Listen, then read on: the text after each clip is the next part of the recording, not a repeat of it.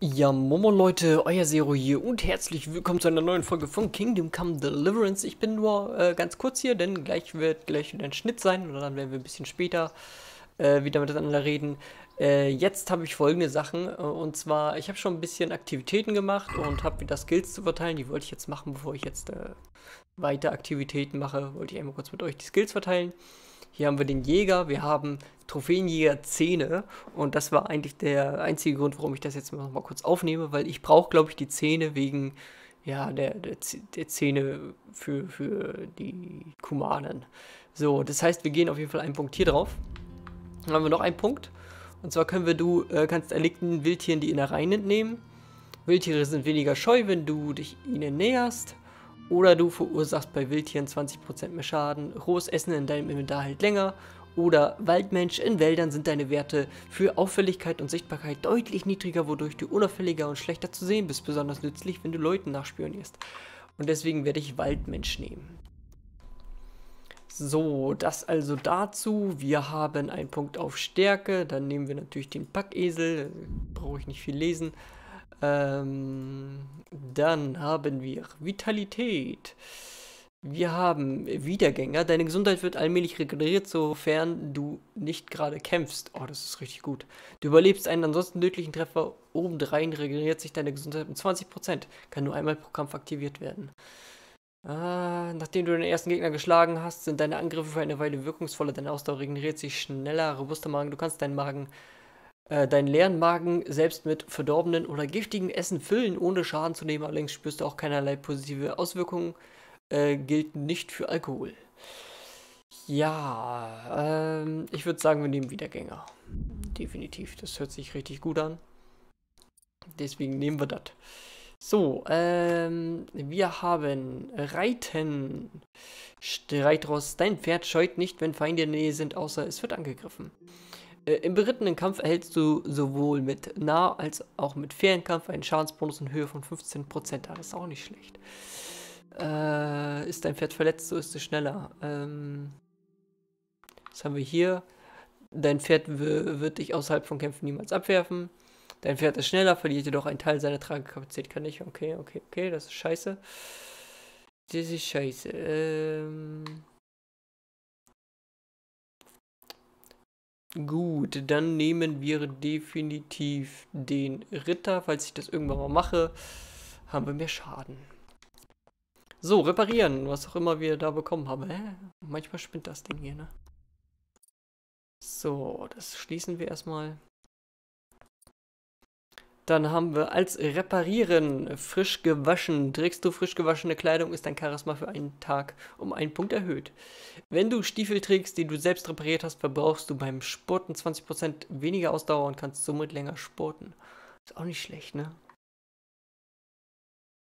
Ich glaube, das mache ich. Repariere ich meine Schuhe demnächst selber. ja gut, äh, das war's auch schon kleiner Zwischenstopp für jetzt erstmal. Wir sehen uns dann äh, wahrscheinlich noch einmal, um die Skills zu, anzupassen. Mal gucken. Und ja, dann bis gleich. So, Freunde, da sind wir wieder. Ich habe äh, insgesamt, ich glaube, vier bis fünf Stunden gespielt jetzt. Und es hat sich einiges getan. Wir haben auch wieder Werte zu verbessern. Äh, zuerst die Hauptstufe.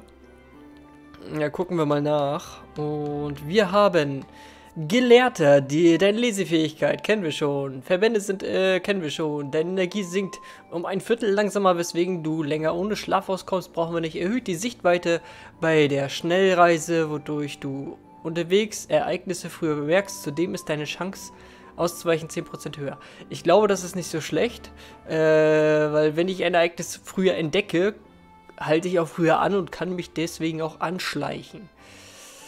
Ähm, deswegen werden wir den Speer wählen. So, das dazu. Äh, dann haben wir Stärke.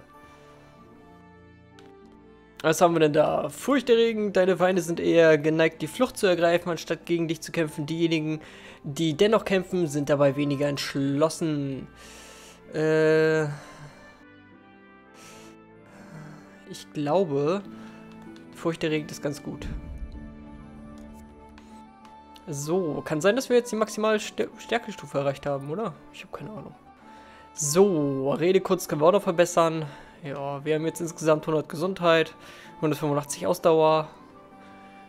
Ja gut, 100 Gesundheit hat man immer, weil es die Prozent ist.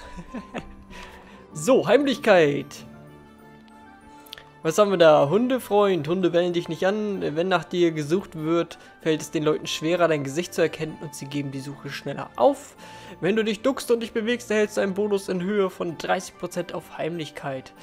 Das machen wir auch. Somit sind wir eigentlich schon richtig gut ausgestattet, ne? Ups, ich habe einen vergessen, ne? Ähm...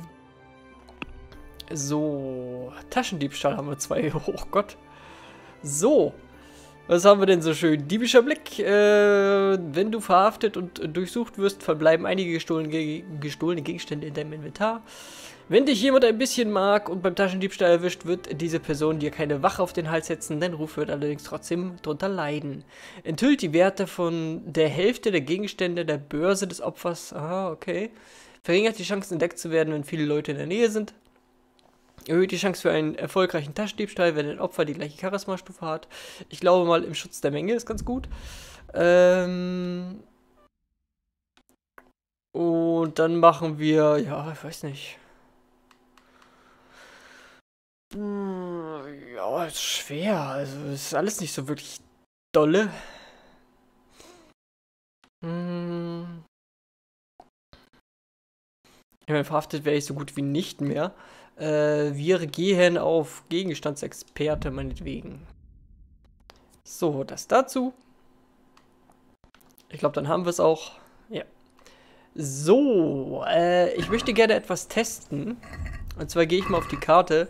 Ich habe so ein Gefühl, dass das Schnellreisen äh, doch schneller ist, als ich gedacht habe. Denn wenn ich sage, ich will dahin. Von hier aus kannst du nicht schnell reisen. Aber da kann ich doch schnell reisen, oder? Nee. Ich kann von hier aus gar nicht schnell reisen. Warum nicht?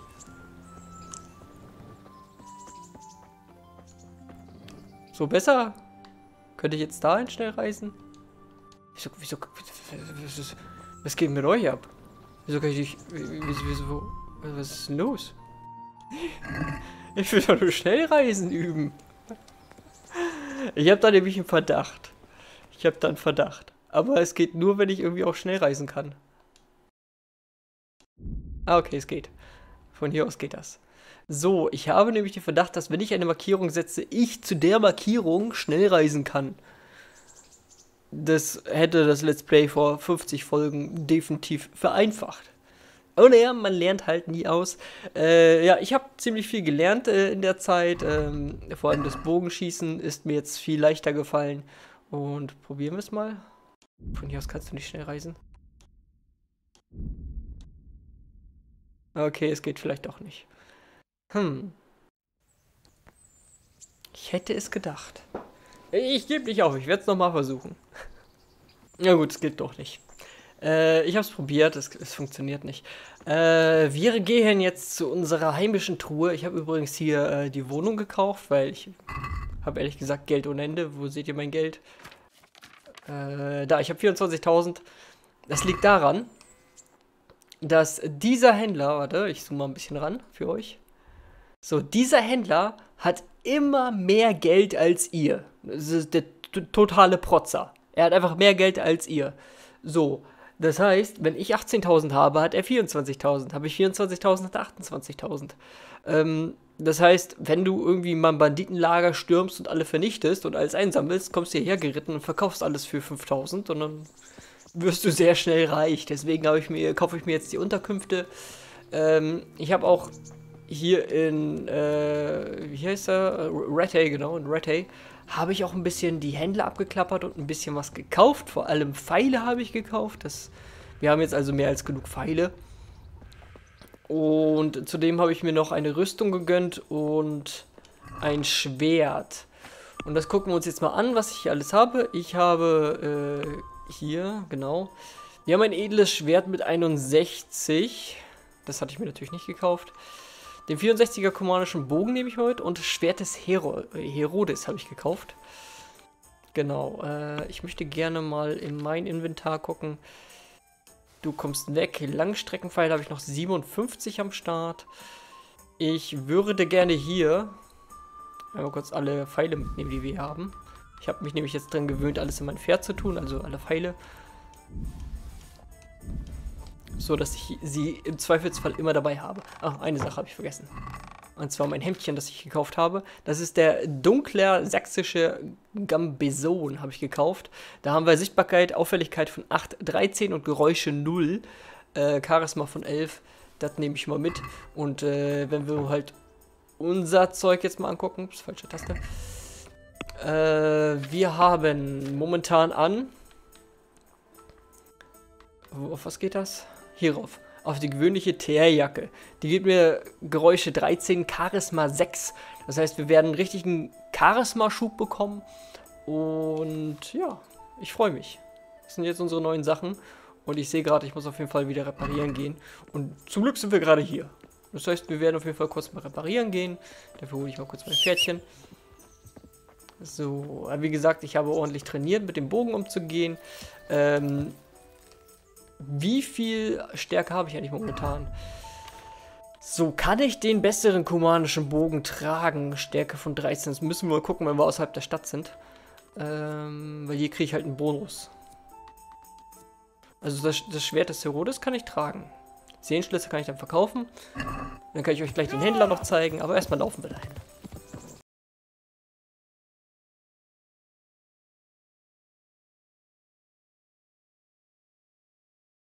So, genau, ich kann ja mal gucken, äh, wie es mit meinen Werten überhaupt aussieht.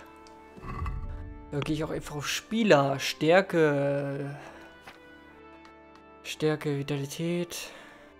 Wo ist denn meine Stärke?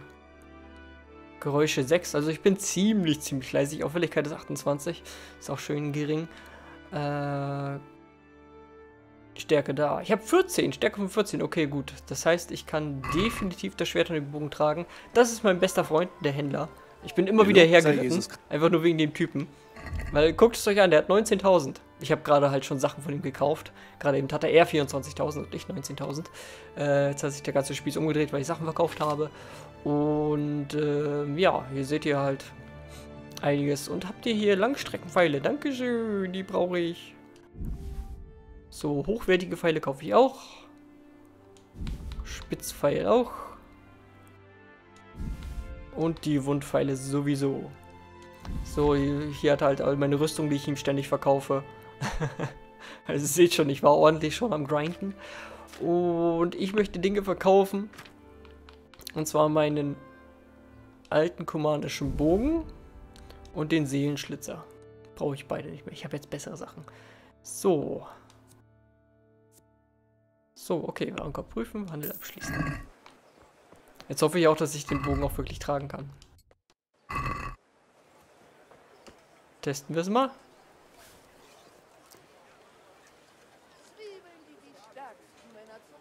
Ja, läuft. Okay.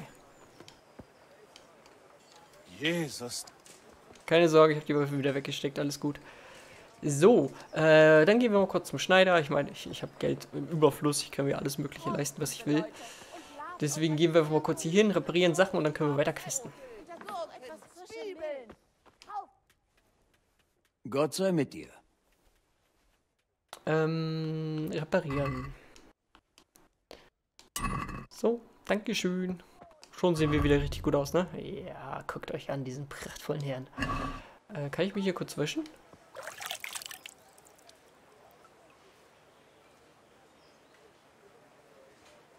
Die Leute im Mittelalter müssen echt gestunken haben, wenn sie sich nur so, hätten, so waschen können. Naja. Man musste ja auch Wasser sparen, nur die Reichen konnten sich viel Wasser leisten. Ich habe noch Kommunionskirch und so weiter, aber naja, das äh, können wir ein anderes Mal verkaufen. Ja gut, äh, obwohl ich möchte gerne die Pfeile mal alle einstecken. Alle, die ich nicht brauche, können weg. Wettkampfpfeil. Na gut. Nein, nein, nein, nein, nein. So. Dann gucken wir nochmal in unser liebes Pferdchen rein. So, wir haben 100 gewöhnliche Pfeile, 40 hochwertige Pfeile, äh, 150 Jagdpfeile, die machen aber sehr, sehr wenig Schaden. Ähm, Du bist ganz gut, der Spitzpfeil haben wir 73. Verbesserter Pfeil, hier verbesserter Spitzpfeil habe ich gerade mal 6. Weil das sind die besten. Den hatte ich auch eingesetzt gegen äh, Willi oder wie auch immer hieß. Weiß ich nicht mehr. So. Questen wir mal. Wo wollen wir denn heute? Ach, wir wollten, genau. Wir wollten ja zum Galgentypen. Und da werde ich jetzt mal kurz hinreiten.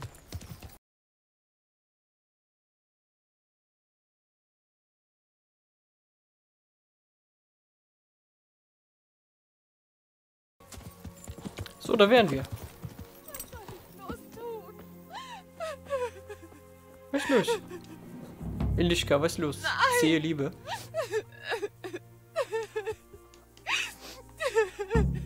Frage der Henker nach der weinenden Frau.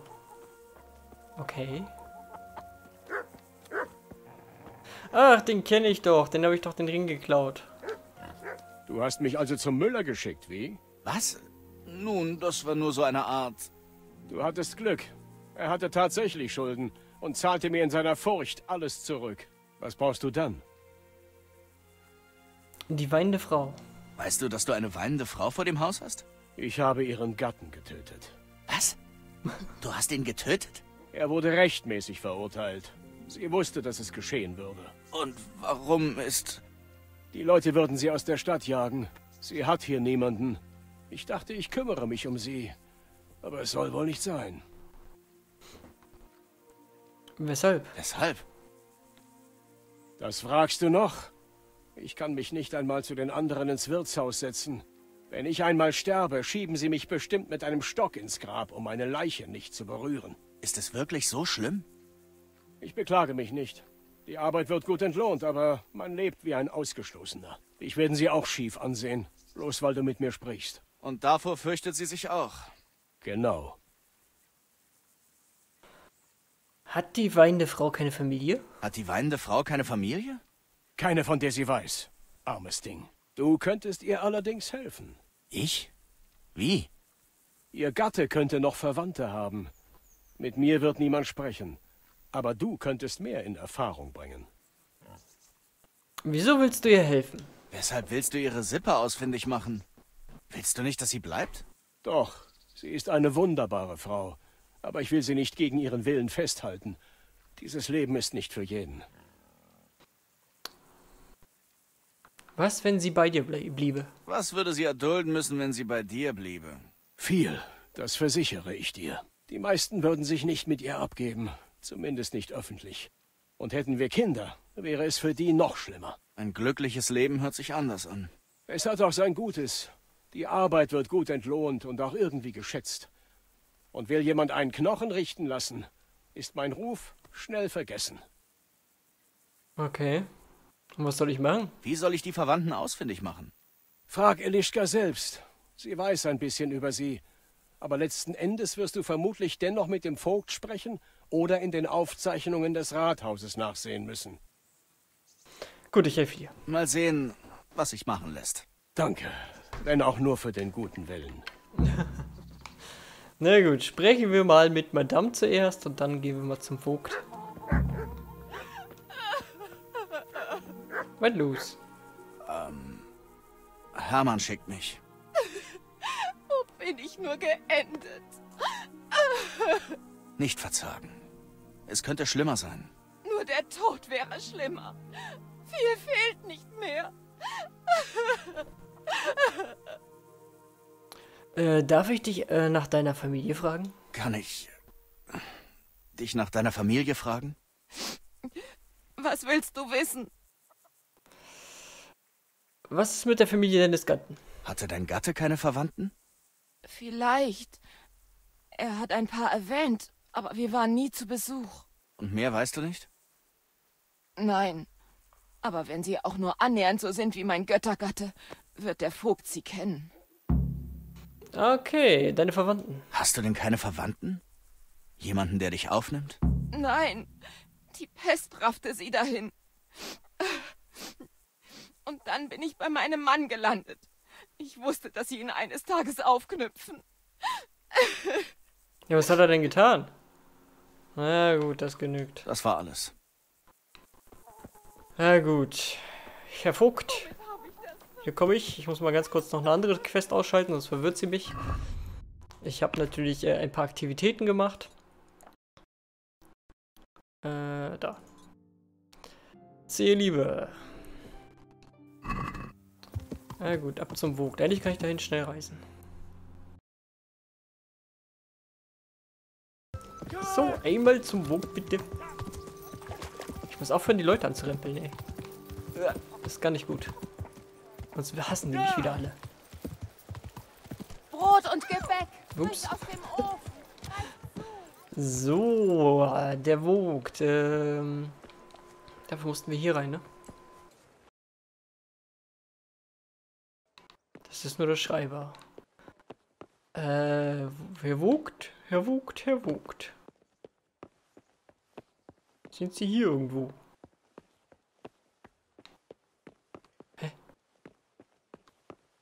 Ist er ganz unten?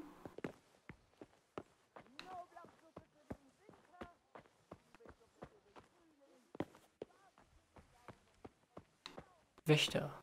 Ist da irgendjemand im Knast? Nö. Äh, wo ist er denn? Hm.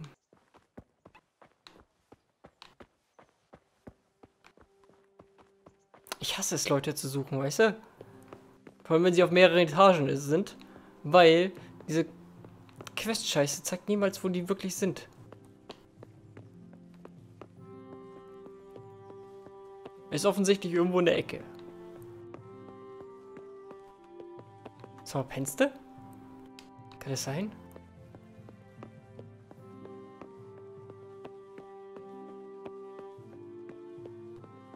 Ist er draußen?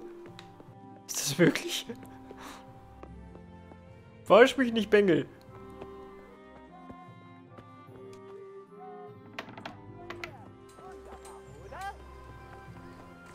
Da ist er draußen, ich glaub's nicht. Guten Tag, wie kann ich helfen? Ähm. Elischkas Familie. Kennst du Elischka? Die Frau des Kerls, der kürzlich gehängt wurde? Die, die jetzt beim Scharfrichter ist? Genau die. Das Leben kann hart sein. Äh, ja. Und weißt du, ob sie hier in der Gegend Anverwandte hat? Woher soll ich das wissen? Nun, entschuldige mich, ich habe zu tun. Ähm, ich habe gerade mal zwölf Redekunst. Naja, gut. Eine Sache weniger, um die du dich kümmern müsstest. Wenn Elischka nicht beim Scharfrichter bleibt, hast du eine Sorge weniger. Jesus. Gut, dann frag doch den Schreiber. Ach komm, der pennt. eine wahre Gaumenfreude Hab und Dank. Gurken, die all eure Leiden lindern. Dämlicher Schreiber, der pennt. Ich glaub's nicht. Ach.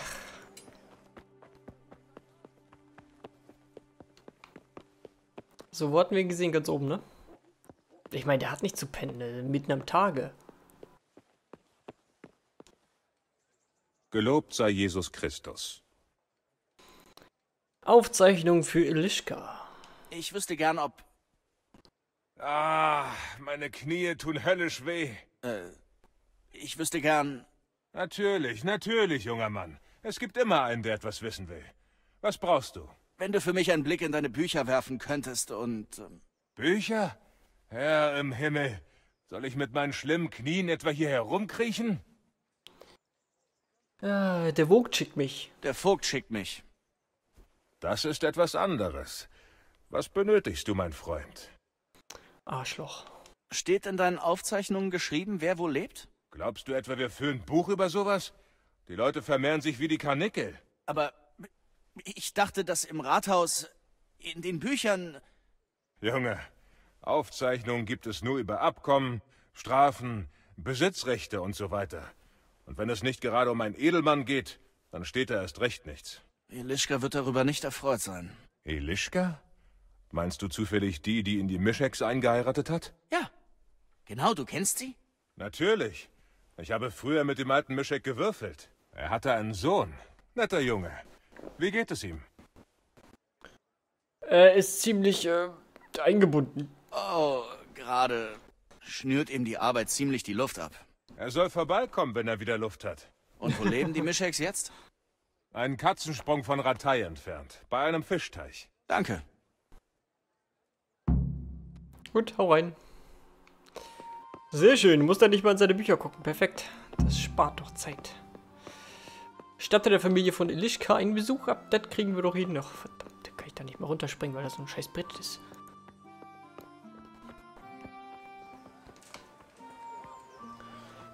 So, dann schauen wir mal. Wo es hingeht, habe ich noch was zu essen am Start?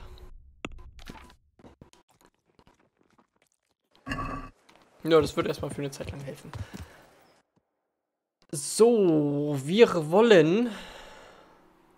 Das ist definitiv klar in der Nähe. Dahin.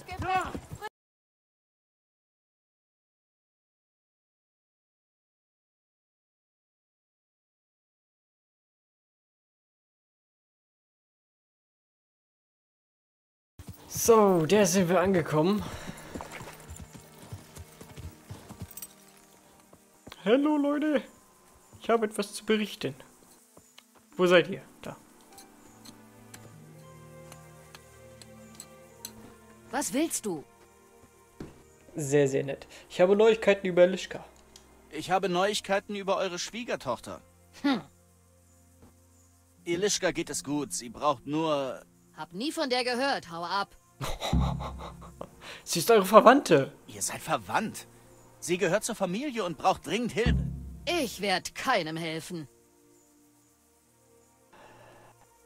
Es könnte sich für euch lohnen. Es könnte sich für euch lohnen. Ach, wirklich? Und was willst du? Die Witwe eures Sohnes braucht Hilfe. Sie kann nirgendwo hin. Was kümmert uns ne nutzlose Schnöpfe? Sie würde helfen? Das könnte helfen? Ein Feuer könnte gefährlich sein. das finde ich gut. Leute wie ihr sind hier bestimmt nicht sonderlich beliebt. Ich frage mich, wie schnell euch die Nachbarn zu Hilfe eilen, wenn ihr sie mal braucht. Und was sie täten, wenn euer Haus plötzlich Feuer fangen würde. Was zum...